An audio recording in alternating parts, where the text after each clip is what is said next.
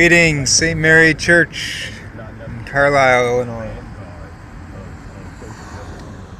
Keep the faith, keep growing in Christ, keep evangelizing. God bless you.